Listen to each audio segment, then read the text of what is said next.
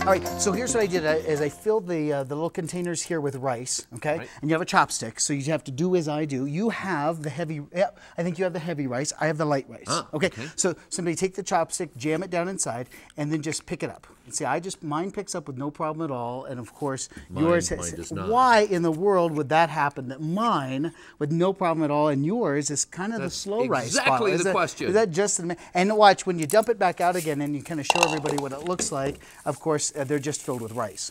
All right.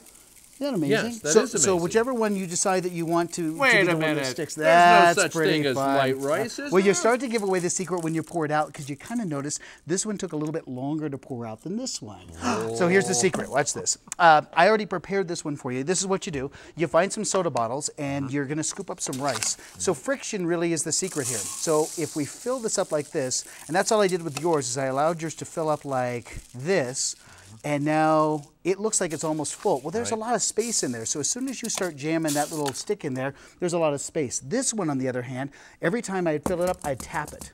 And then I'd put more in and jam Ah, it down and more. the So there's a lot more. So bring over the beakers real fast and you can kind of see. This is the one, if you take a look, this is the one, how much rice is in the heavy one or the light one. works.